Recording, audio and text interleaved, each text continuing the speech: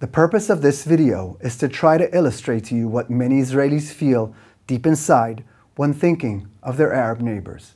Warning this video may involve facts and images that are difficult for some people to see.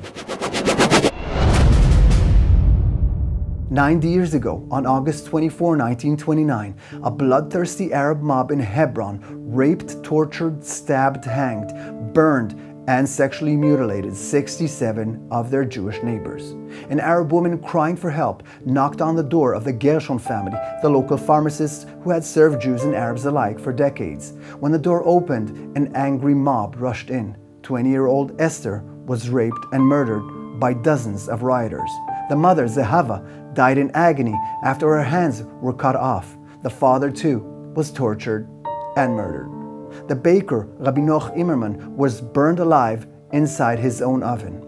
When the rioters broke into Shlomo and Nachmi Unger's home, they thought the couple were Christian tourists. When asked, Shlomo stood straight and answered, I am a Jew. He and his wife were immediately slaughtered. Children ages 3, 4, and 5 were indiscriminately murdered in front of their pleading parents, and there are 67 stories of this kind.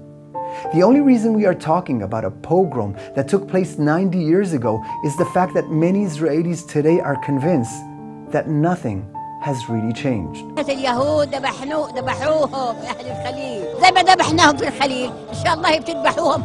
To this day, the call to murder Jews is embedded in the Palestinian education system, society, and in their psyche.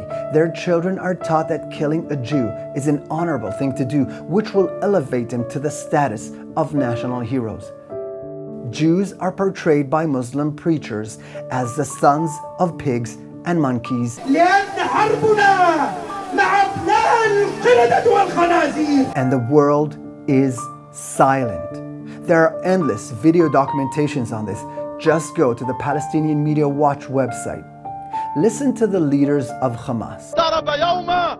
فلقد اقترب يوم ذبحكم واستئصالكم وسنقتلع الحدود وسنقتلع قلوبهم قلوبهم Now why should we doubt their seriousness? يا أخي في الضفة اطعن As we mark the 90th anniversary of the Hebron massacre, you need to understand that many Israelis continue to believe that Arab hatred is still boiling as ferociously as it did on a Shabbat morning in Hebron, 1929. Thank you for watching.